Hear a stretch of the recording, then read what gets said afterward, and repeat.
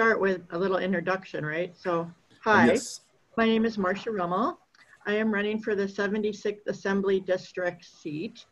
I have been um, on the City Council now for seven terms, representing District 6 on Madison's Near East Side.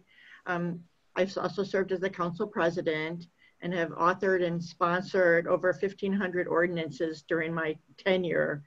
I've worked with um, the mayor and my fellow colleagues to push uh, to do budgeting and, and I'm proud of my role working with residents to facilitate their en- engagement in our local democracy.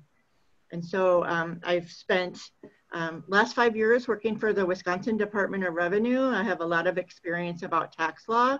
And before that, I spent over 20 years working at um, a variety of cooperatives, the last one being the Rainbow Bookstore Co-op.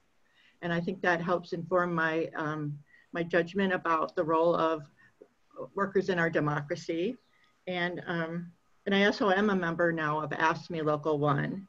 And um, I think since we're in a global pandemic, there's a lot of things we need to do. And I think my skills help prepare me for that. So thank you. Um, support publicly funded elections. I do support f- publicly funded elections. ju- ju- Just, just, for, just for a thing, we, we, um, we will, each of us will, will, will actually read them, just so our, our this Oh. will be recorded, so our viewers can see it. And we'll, we'll, um, alternate asking the questions. So, um, maybe I'll do the first one, Peter. Sounds good. Um, uh, uh, oh, we should introduce ourselves too. I'm, uh, I'm Greg Jaboski. I'm the, uh, uh, secretary of the Dane County chapter of, uh, of OWR, of Our Wisconsin Revolution.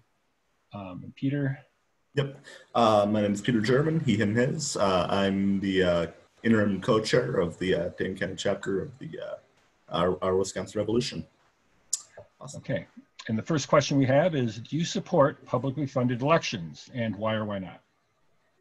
I do. I've spent the last uh, many, many days making phone calls to raise money so that I can um, do mailings and do outreach to voters. You know, with COVID, where it's harder to go do the traditional kinds of outreach, which is knocking on doors and that kind of thing. So, um, you know, in order to get, I mean, I believe I have some name recognition based on my city experience, but you know, not everyone knows me, and some people are new to the city, and it, I need to do at least four mailings before the end of um, before the primary. So, yeah, that costs a lot of money, and and you know, I feel like I spend a lot of time like cherry picking friends who have more money and understanding friends who have less money, and trying to like manage the time to like prepare for interviews like yours and all the other work.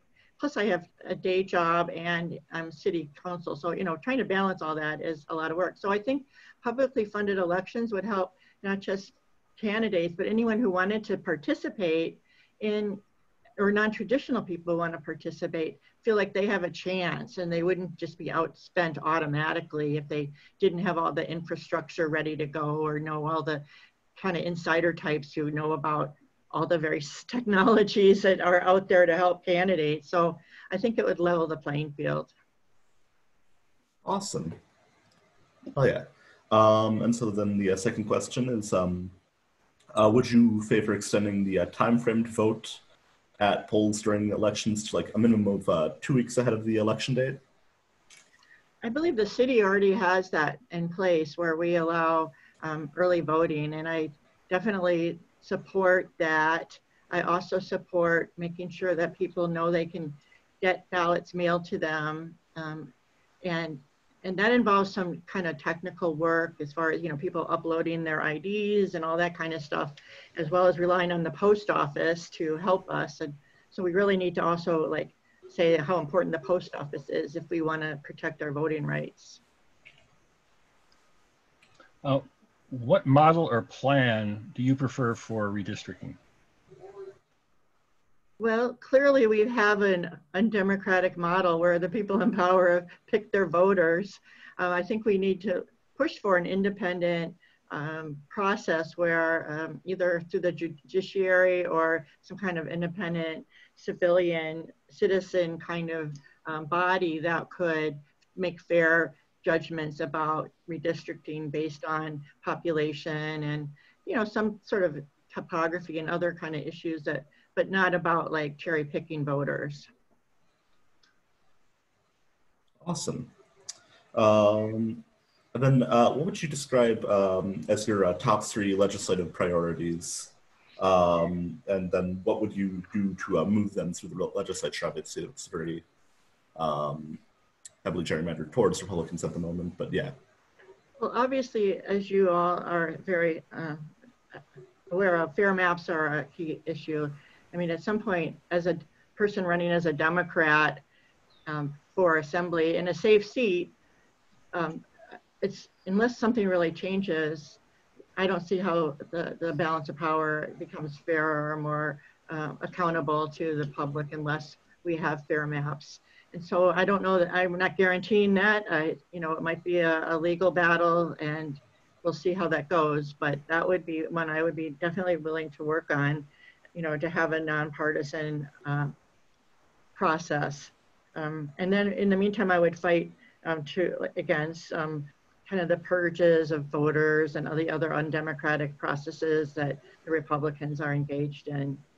Um, the, another um, really key issue for me is that I've been working on for a number of years is safe drinking water.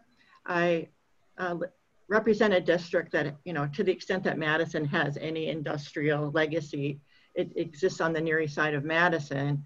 So I have dealt with um, Madison KIPP Corporation, We've closed various wells due to um, contamination of water and, and, and we continue, now we've learned about PFAS at Truax Field as a contaminant that's um, going into our groundwater system and we closed well 15 near um, East Towne because of contamination from that. So I, and I know statewide it's an issue as far as farming from CAFOs and um, manure and nitrate. So it's a it's a fundamental right we have to save drinking water, and I think it is a kind it's an issue that will cross whatever lines there are, you know, between partisan parties because everyone needs it. Um, and and I would work with you know others around the state on that topic because it it plays out differently depending on where you are. Um, and so, you know, one of the things that's really important to me with Governor Evers getting reelected is having the DNR be back to more of its old self and having scientists and science-based decision-making as part of our um, culture. You know, he created that, that PFAS team that's doing a lot of good work and, you know, other states like Michigan and around the country have done a lot of good work on, on PFAS as far as making sure we have standards. And and the Wisconsin Health, um, whatever is W, is working on new groundwater standards. So I've been following that and I currently serve on the Madison Water Utility. And so I've been keenly following all that. Um, the other thing I've worked on and is now of course, just in, on everyone's mind is um, police accountability. Um, my district is one where it had more than its fair share of officer involved shootings over the, since I in my seven terms of being elected there's been at least three in the last seven years of people that ran into police officers and ended up dead. Um, the first one was from my you know direct experience was paul heenan who was um, someone intoxicated tried to go home to the wrong house neighbors called the police but then realized they knew he lived down the street. He was kind of a new housemate of neighbors and tried to undo the call, but a, a rogue cop showed up, didn't wait for backup, and, and killed him because he didn't respond to orders. And so that started me on this path towards um, police accountability and how we use force. At that point, the, those neighbors started the community response team. Amelia and Nathan Royko have been leaders that I've been working with for seven years now. And they worked with Representative Taylor and other assembly members to change state law so that a police department would not be the ones that investigate themselves and that it should go to the uh, state level at the, the, Department of Justice. So that is the new law. So when Tony Robinson got um, shot in 2015, it was a different world after, um, you know, Ferguson and, and, and he was a young African-American man and you know, some things around um, Polly were just like, you know, it didn't, nothing really, it wasn't quite the same. But once with Tony, it became a real, a real, an uprising of, of concern. And the Common Council initiated a process that's just still in, in the works to create an ad hoc committee that has working to um, hired a, a, consultant, came up with a lot of recommendations to improve our police department. And meanwhile, during that period, I was the council president and I chaired an, an alder work group um, that came up with 13 recommendations about use of force, adopting a root cause analysis. And so when the, you know, when the, the murder of um, George Floyd happened, in some ways the council and the city was well prepared to talk about community control of the police because one of the major decisions of this um, ad hoc committee was to um, have an independent monitor and a civilian oversight board. So it's going to the state level with all that experience. I think one of the issues is the state um, statute requires a police and fire commission model. And, and that is, can be, it's a pretty weak model, but it could be strengthened by this independent monitor and, and a civilian oversight board that could be more proactive than what the PFC has been historically. Historically, they rarely find against any police officer in a complaint. I mean, rarely, if ever. And so the, the, chances of that are just really stunningly low. So we know there's a problem. And, and so that is something I would continue working on. The thing that has struck me lately is the role of the district attorney, that um, they're the ones that now on the local level investigate the criminal wrongdoing of a police officer, but they're embedded together with police and law enforcement. Their job relies on enforce law enforcement to do to take cases to court, and so it's it's a an, it's a, a tricky relationship that I think we should take away and and remove the district attorney and have maybe a more independent judicial review of officer involved shootings. And then there are some of the issues that the, previous, um, like Chris worked on previously, that to continue uh, on those paths of um, you know, having stronger policies about the duty to preserve life. And then also just in general, um, adopting more, having a more uh, awareness about criminal justice reform and all the ways that we need to, as some people call it, defund the police, but reallocate resources to mental health professionals and um, or mental health ambulances even to deal with people. Like one of the persons that got killed was a, a person with a, a suffering from a mental health disorder and needed maybe somebody not with a gun to help. so that's a, a, one thing. And then I think, I mean, there's other things, of course, that um, are important, but um, I think I can stop there. Is a multi-part question. Um, I'll just read it all um, within chat as well. Uh, in the emergence from the pandemic, would you support a state level economic hardship payment? Do you support direct payments to residents? Describe the top five components that you think should be in such a bill. I think the thing we've learned from the pandemic is how we've um, wrapped up people's health care with their job. So if suddenly you're upside down and your job goes away, either as a worker or as a person who owns a business, um, you're just really, it's really uh, like you're going to go down the economic drain if, if you don't have supports like state assistance. So I, I support um, the hardship payments. I think, you know, the Fed's doing, you know, it was, they should do that every month. I think it should be a federal uh, initiative to, to fund during this pandemic, you know, $2,000 a month, like, like um, some state federal level representatives are requesting because I think that will help people get through the period of time and or they could use those CARES funds to um, send money to the, the state level who then could you know create programs say for renters. You know some renters don't you know they can't pay their rent and you know landlords don't necessarily want to get rid of tenants but on the other hand they got to pay their mortgage. And so it's just a trickle down thing where so people who have all these bills to pay need help so that they can at least maintain um, the status quo for people until we can start to uh, recover. So, you know, I think there's different ways that we can um, craft payments. So another thing is, you know, on this federal level, they did um, the unemployment for um, gig workers. So we definitely need that kind of thing. So even unemployment's related to a traditional W-2 kind of job versus, you know, a 1099 non-employee compensation kind of job. So we need to make sure that people in all the different varieties of work have a way to um, secure themselves. And, then at some point, we need to have the staff to be able to um, process all these requests. I mean, I heard more than one st story of horror, really, of people trying to get unemployment and not getting through to the phone lines and and you know that the, the computer systems at that agency are, are so antiquated that the, they were overpowered and they don't have enough staffing and plus COVID are working from home. It just it was just like um, you know just a huge crazy thing. So um, the, the top five components, I think it should be, it's based on need. I mean, at some point, some people with a lot of money don't really need help. Like personally, I, as my job at the Department of Revenue, I can work from home. I don't need $2,000 a month, assuming that my job continues.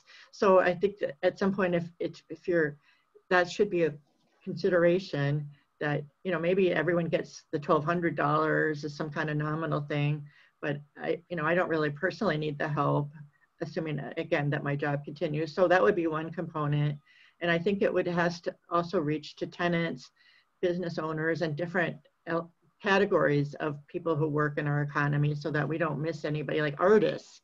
You know, artists, for example, I spent a lot of time thinking about artists, and you know they need help too. And you, if you're not doing public or private art, you're just not getting income. So, um, and I think pretty much it should be federal, you know, and then the state can help in various program programmatic ways with, you know, housing or loans to businesses or other kinds of things.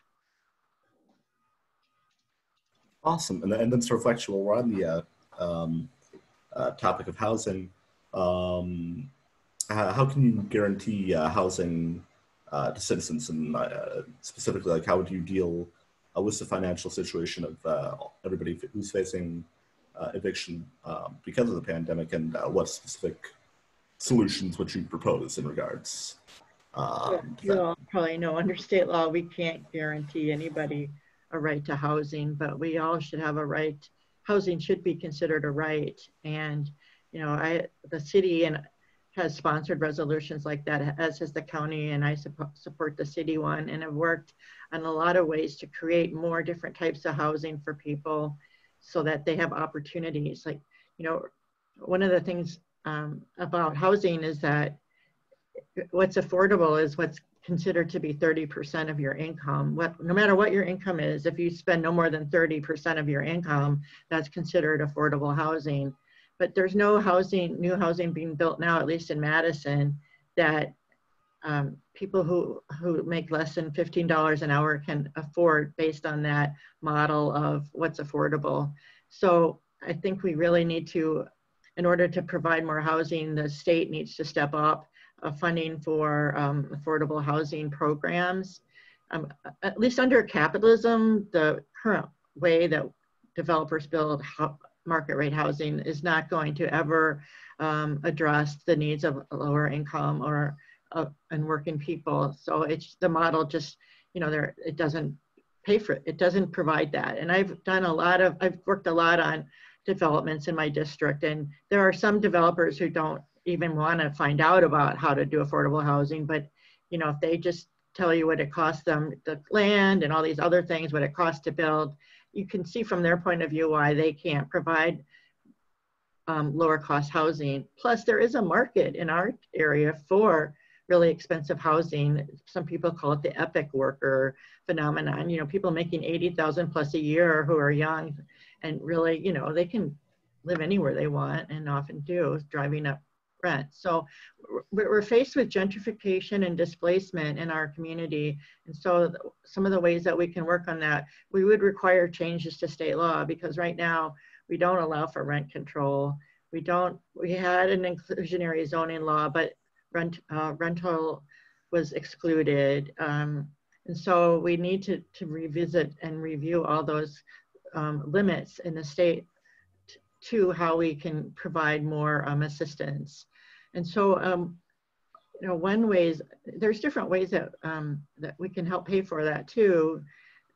One, of course, is to change our tax law to make it um, more progressive so that we have more money to share with our community. Um, the second one that I've looked at a little bit is how they changed, recently changed the tax incremental financing law. And now you can keep a, TIF district open for an extra year after you've paid your basic costs and use that money for affordable housing. So that helps a city like Madison, but it doesn't really help smaller communities where the projects that they may use for TIF don't create a lot of increment. So, but if you extended that one year to three years, you would have more increment that could be used, you know, all across the state for communities. Because this isn't just a problem for Madison, this is a statewide problem. And a lot of times the surrounding communities in Madison just say, oh, let them go to Madison and don't do anything to help to create more housing. So I think that would sort of level the playing field. Um, and also, oh, we're getting to the next question. Um, no, you no, keep going. it, I just, you know, that's another thing, you know, there's been, there was this emergency orders prohibiting eviction, but we need to have more tenant protections so that there's just cause and there are other things. And that's another thing that we need to undo from Act 10, those, those deplorable landlord-based laws that took away people's rights to uh, safe and fair housing. So a lot of changes need to happen at the state level to, to make sure people have access to safe and affordable housing. I'll go to the next question. Um, will you fight for a single-payer healthcare system at the state level? And do you support a federal single-payer healthcare system? I definitely do. And again, as I said before, the, the COVID pandemic makes it so clear why we need, like how our system is an utter fail, capital F failure. So um, we need, we need single payer. We need um, whatever you call it, Medi Medicaid for all or Medicare for all. And we need to do that as soon as possible. It, and I, you know, I, I think Senator Sanders and others have made the case why it's it can work and it might be cheaper, and we just have to keep fighting for that. On the state level, we need to you know they didn't expand under Walker, they didn't expand Medicaid, and so they gave up uh, uh, millions and millions of dollars in federal money and cost the state more money to provide um, how um, healthcare to people just above the federal poverty level. And that just seemed really backwards, or especially for you know people who claim to care about like financial fiduciary responsibility. They they cost us more money to to um, to provide healthcare for people who need it. Um, so I think you know we we definitely need some fundamental changes. Uh, it's just not a workable system the way we have it now. And we can see just with the pandemic how clear that is. So I definitely would fight for single payer at the state and federal level. Awesome. Um, and sort of in uh, a similar vein, um, you know, a lot of people right now, essential workers, are forced to go back uh, to work in, um, you know, uh, in a very unprotected way. Uh, would you support um, uh, you know, workers' rights laws helping those who are forced to return to work, um, but are currently risking um, their health. And of course, um, you know, absent uh, a current uh, single-payer system in Wisconsin, um, would you be willing to uh, push uh, the state to guarantee medical coverage through uh, Badger Care for those who are affected in this unique way? I definitely would support um, expanding rights of people who are forced back to work. I mean, that just is another kind of crazy thing with the care payments that encourage businesses to get people back working when it might not be safe. So it's just like, you know, we don't want to put people in that position of deciding whether they can, you know, if they want to work or have to and suffer with the chance of catching COVID and risking infection. So um, definitely, I would support rights like that. And yeah, definitely medical coverage through Badger Care. And even on the local level, we're struggling to, you know, people, I get, getting, starting to get a lot of emails from residents who say, how come we haven't made masks mandatory? Uh, you know, Milwaukee might, other cities have like Los Angeles. And, and, and then this, the, the public health pushback is through the equity lens. Like, you know, we don't want to make it so that workers have to their jobs would be at jeopardy if they insisted on it or if people of color feel like they are being targeted unfairly if they wear masks you know for assuming they're going to be you know doing things wrong or whatever and so I, I know that those are legitimate concerns but i think somehow if people don't if we don't really take this seriously we're just going to infect more people and prolong the, the economic misery for everyone Um, next one, we're going to have a couple questions in a row on uh, uh, on policing. The first one's just kind of a quick uh, uh checklist thing. You, you, answer yes or no to uh, to either of them. Um, do you support the propositions outlined in Campaign Zero? We took it right from them. This this goes back before the current protest, um, which includes. Um, do you, would you favor ending broken windows policing? Yes community oversight of police. Yes. Uh, laws limiting the use of force. Yes. Um, do you support independently investigating and prosecuting uh, police?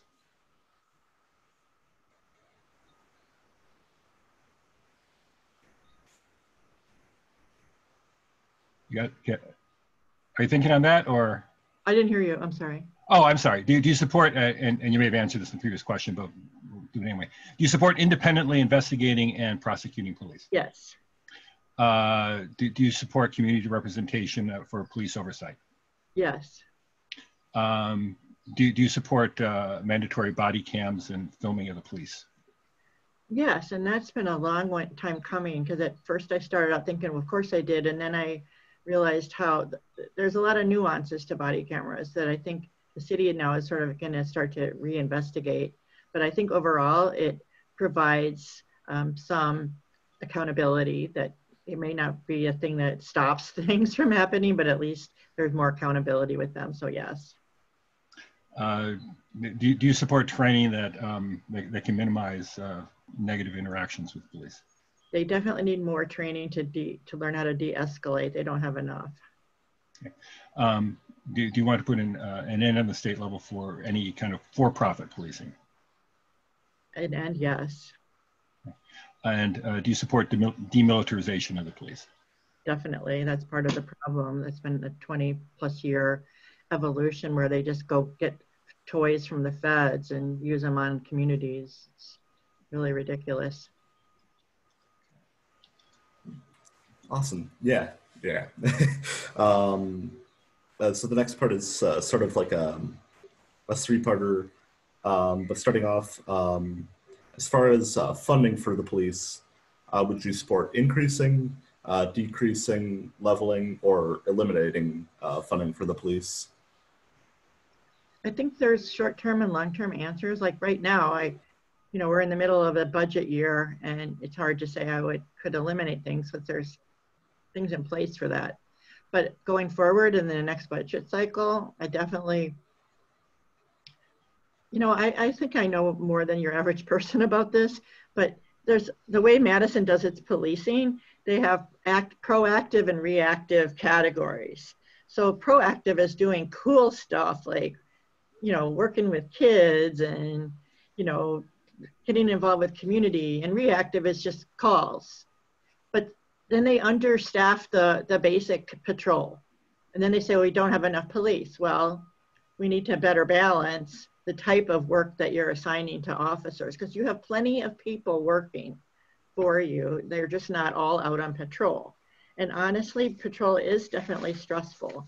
So that's a long way to say that I would um, support decreasing funding with the caveat that they also need to rearrange how they're staffing the police so that we are providing, because people do want to feel safe in their homes and on the street. I think that's legitimate. And I mean, to the extent that police respond, they're not necessarily there when anything happens, but they could respond and hopefully they're doing it professionally and with care.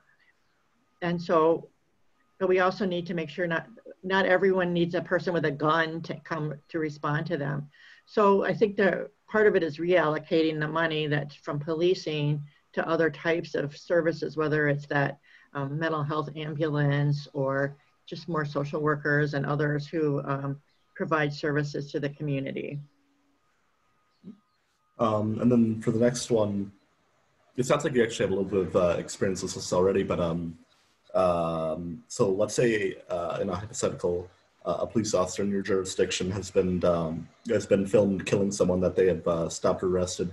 Uh, how would be your uh, immediate response?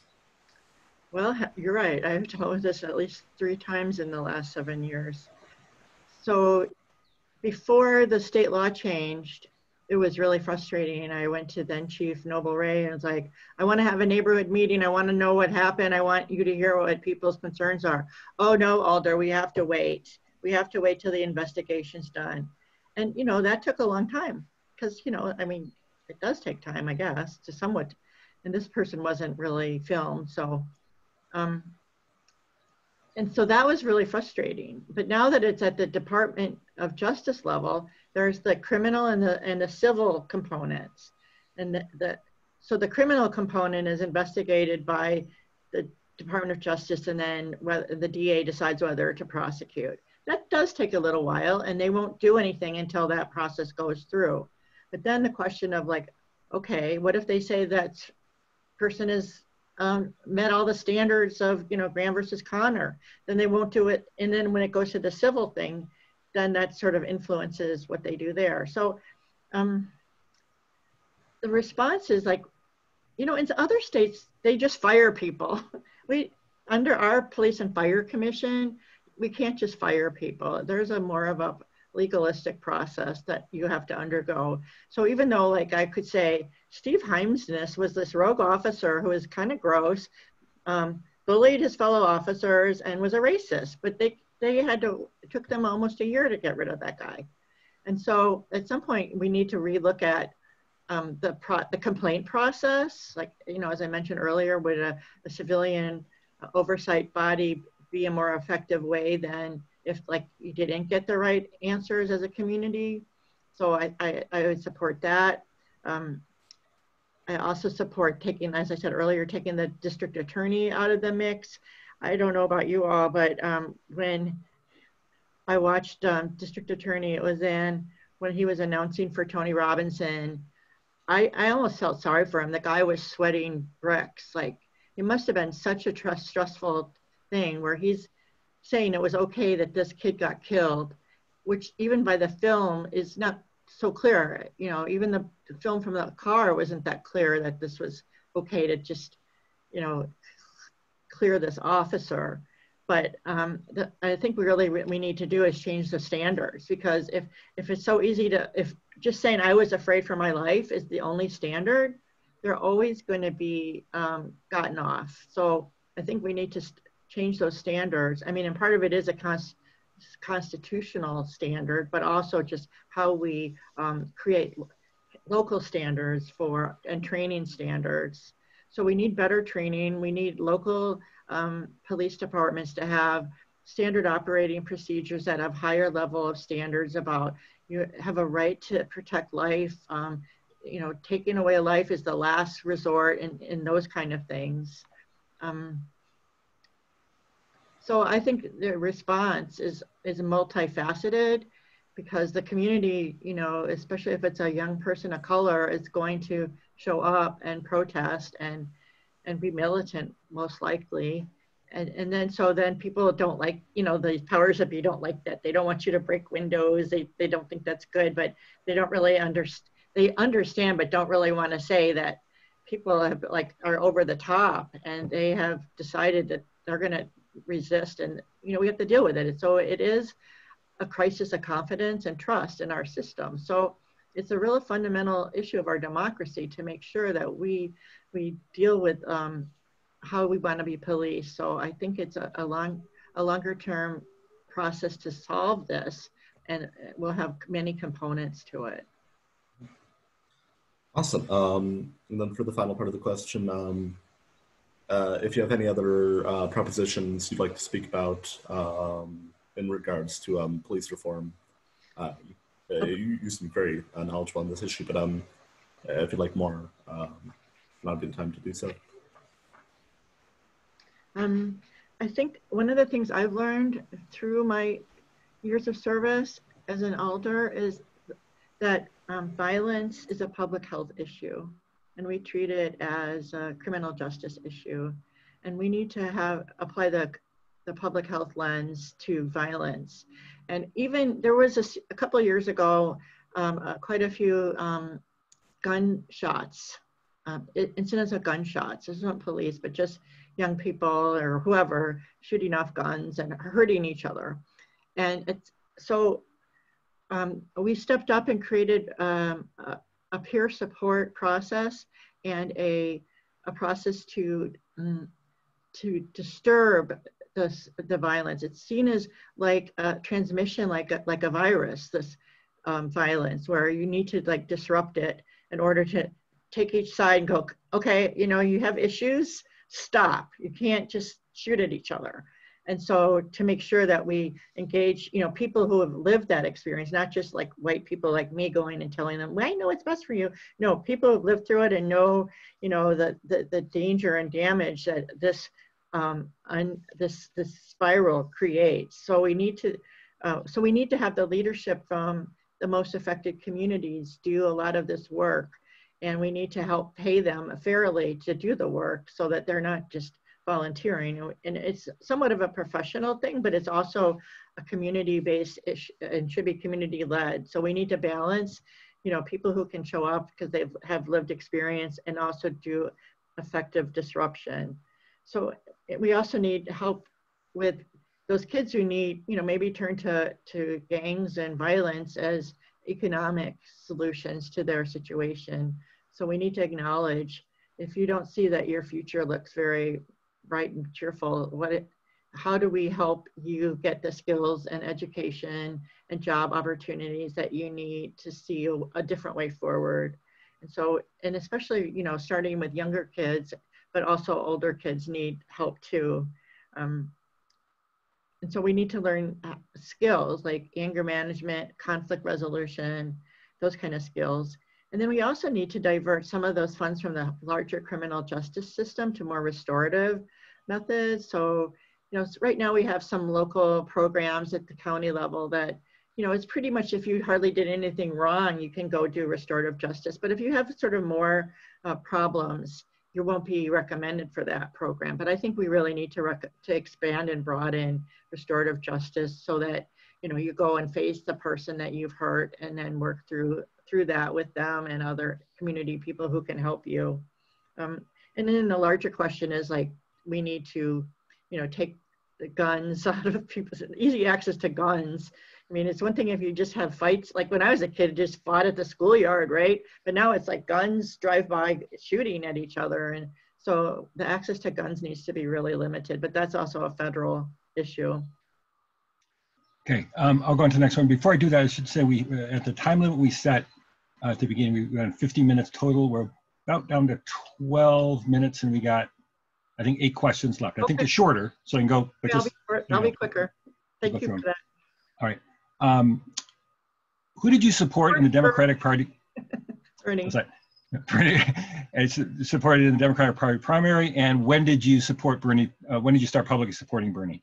Um, at some point, the campaign reached out to me, and I, I agreed to support him. But then COVID and everything collapsed, so you probably never saw it. But I definitely supported him as I did the last time around. And he's the reason I'm running for a partisan office.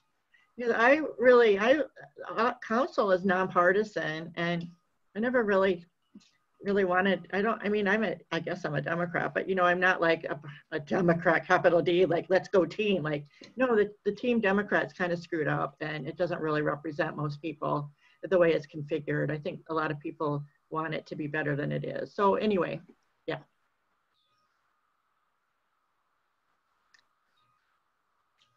yeah. Is that a quick unmute myself? Um, yep. Uh, what is your uh, analyses analysis of the, uh, the Evers administration's handling of uh, COVID-19 uh, crisis in Wisconsin, uh, including his handling of the processes leading up to the April 7th election? Um, I think, I mean, he has the authority to make those emergency orders, and that was quite welcome. I'm not sure they were strong enough, and but um, they are what they were. Um, and I think it really helped us for a while to shut down things. And and that the, of course, the judiciary interfered and, and, and, or the state legislature interfered and got the judiciary and state uh, Supreme Court involved.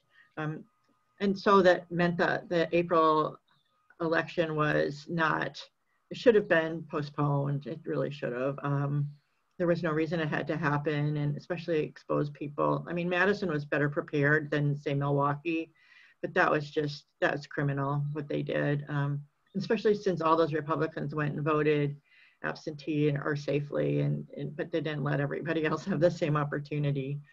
Um, the state legislators just, I mean, they did some early help for businesses, but it's mostly about businesses they help and not, and less about like just reg, you know, working people. Like, so like as I work at the Department of Revenue, like, you know, don't touch business, you know, help businesses, but you know, everyone else who's upside down, I mean, yeah, that will work with you, but it's not like, you know, they get anything delayed.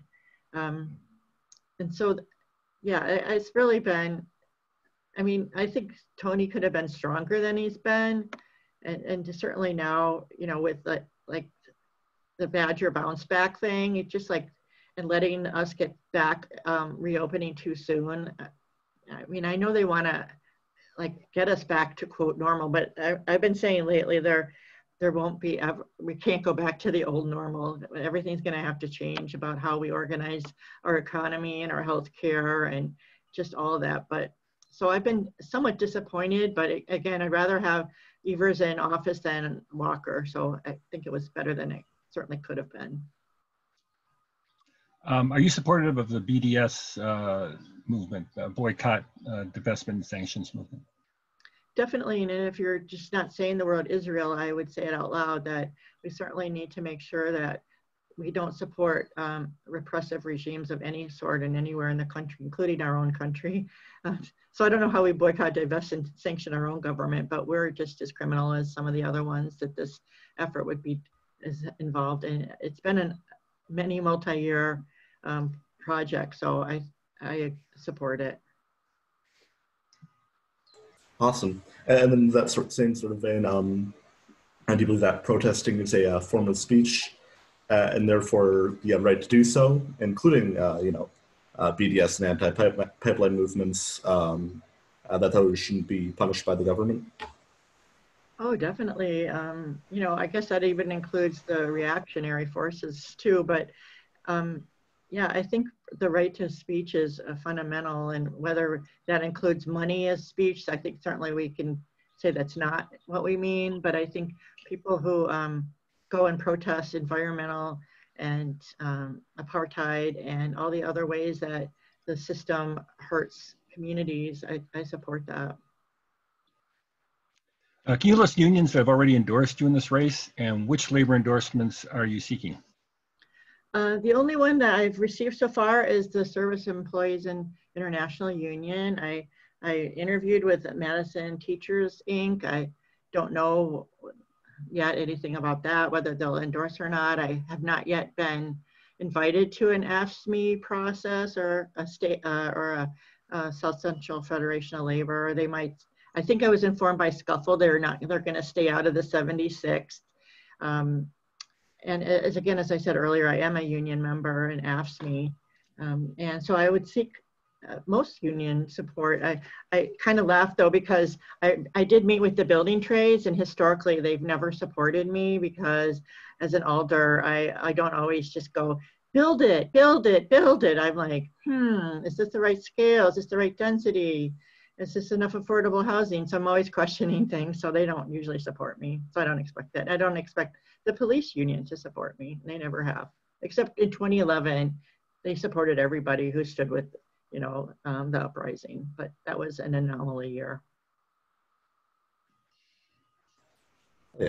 Um, and next is sort of um, a little bit of a technical camp, uh, question about the campaign um, in regards to fundraising. Um, a few here. Um, so, how much have you raised uh, as of this date in the race? No, I can't tell you exactly because I'm not the person that is in charge of that, but I'd say over $12,000. Um, Um, the top three donors are, well, first of all, it would be SEIU, thank you. Um, and um, family members, you know, at a higher level and um, and I don't know the percentage. I, I've pro- uh, probably gotten over 130 donations that I'm aware of. And mostly they range anywhere from 20 to $100. And there are a few that are more. So, of course, I appreciate everyone's uh, support. It's not my, it's my first election for state assembly. So I'm not sure that's what you mean. But um, in my last election, I ran unopposed so many times and I never really had to raise money. So I hadn't raised money in a long time. In city elections, I maybe spent $5,000 all told when I last had a really contested race. So Um, do you support the legalization of recreational cannabis, including the expungement of all previous cannabis-related charges and the release of all those currently serving time on those charges? I definitely do. It seems like the drug war has created, it's been such a racist failure. Um, and it seems like marijuana is one of those, you know, maybe, you know, it's like, to me, it's equivalent to alcohol and you don't get put in prison for drinking too much alcohol. So I think it, um, I support legalization and expungement of those charges. And I like, you know, we, we talk about like um, defunding the police. That would be one thing if we could reduce the capacity in our prison system based on like less people getting um, put in prison for, you know, so- softer drug-related charges. I mean, obviously there are some that are more deadly and dangerous, but it doesn't seem that marijuana really fits that. Oh yeah. Um, and then for the final question, just another quick technical one. Um, do you have any? No, nobody. It's all volunteer.